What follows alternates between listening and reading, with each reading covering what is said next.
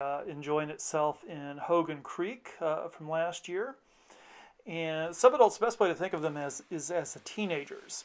Um, there are some physical differences. They may be subtle for some folks, but uh, the ears in the subadult tend to be disproportionately large compared to the rest of the head, and they also appear to be kind of closer together. The head, neck, and shoulders, um, uh, the, the head's elongated and triangular shape. The neck appears to kind of be longer and thin. And the body and legs tend to be long and lanky.